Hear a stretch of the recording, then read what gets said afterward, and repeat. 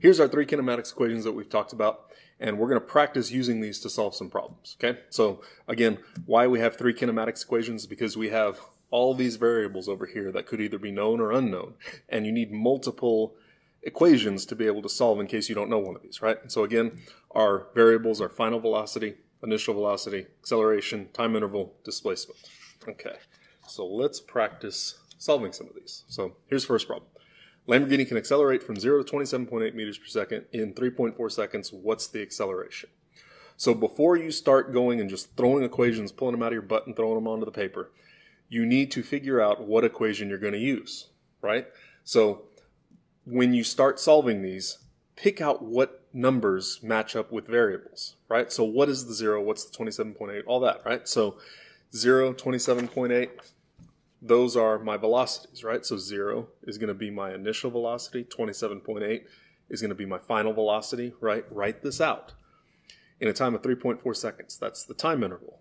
What's the acceleration of the car? So the acceleration is what we don't know. Okay, so if you were just to look at this and say, oh, I'm going to use this equation, right? You can tell this equation doesn't have, I'm sorry, these, this problem doesn't have delta x, the displacement right? So you can't use this equation. So you need to figure out what you're going to use first, right? So I look at this and I know I'm going to use the first equation because final, initial, time, acceleration, this has everything I need. So let's go solve, right? So VF equals V naught plus A delta T, right? So there's my equation. Okay, next thing you're going to do. You're used to just throw numbers in and try to solve, right? Don't do that. Do the algebra first. You're not that good yet. Do the algebra first, then plug in your numbers and solve. Okay, so I want to solve for the acceleration, right? So I'm going to subtract the initial velocity, right? That's going to get rid of that. And that's going to equal a times delta t.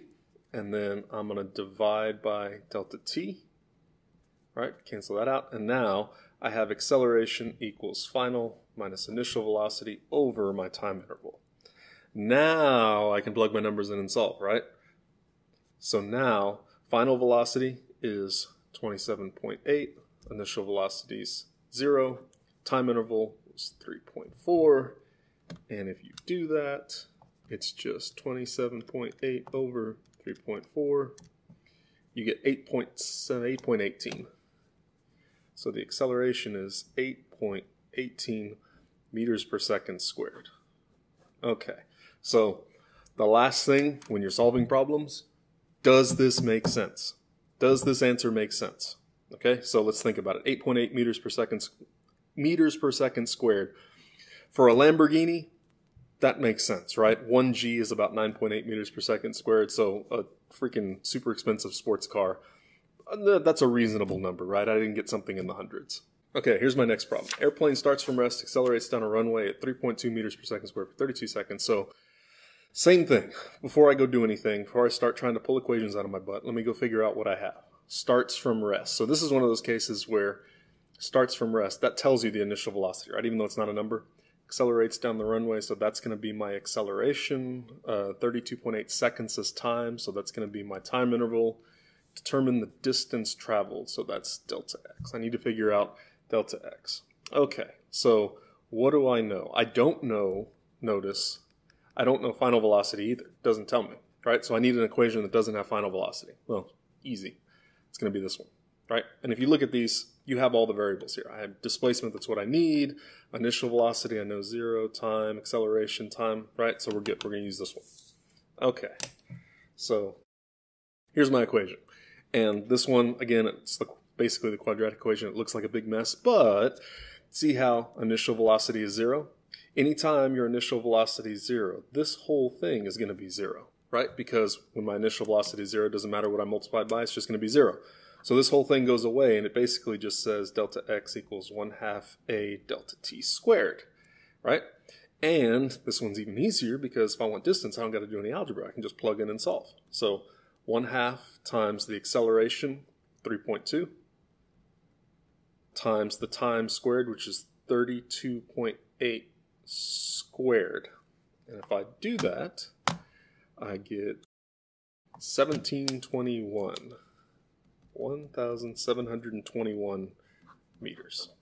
Okay, so again, before you write it down and say, oh, that's my answer, does this make sense? Airplane going down the runway, accelerating for 30 seconds, about a mile, right? A little over a mile, 1,600 meters, that's 1,700 meters. Yes, that makes sense. Okay, last question. Engineer designing a runway for an airport of the planes that are going to use the airport, the lowest acceleration rate, right? That's acceleration, is going to be 3 meters per second squared. Takeoff speed for the plane, takeoff speed will be final velocity, right? And so uh, it doesn't say, but I'm going to assume that it starts from rest, right? Because it's taking off from a runway. So I'm going to say initial velocity zero, minimum acceleration. What's the minimum length for the runway? So I'm solving for displacement again. Except this time, I don't know what delta t is, right? So I need something that doesn't have delta t. Uh, let's look at my equations. Time interval, time interval. Hey, this third one, no time interval. So I can use my third equation. Right, so let's do this. I'll want delta x, right? So before I plug numbers in, let me do the algebra.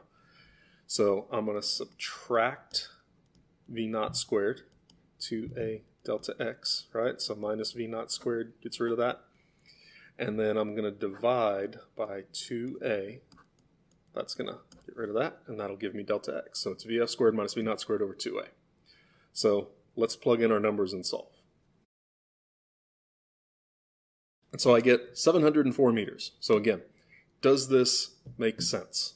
So 700 meters for a runway taking off, yes, that's a reasonable number. If I would have gotten like a negative number, if I would have gotten some humongous number bigger than the mile that I had last time, then yes, then it'd be wrong. But this is a number that makes sense to me. So again, when you're solving problems with kinematics, we're going to do this solving problems all year, right?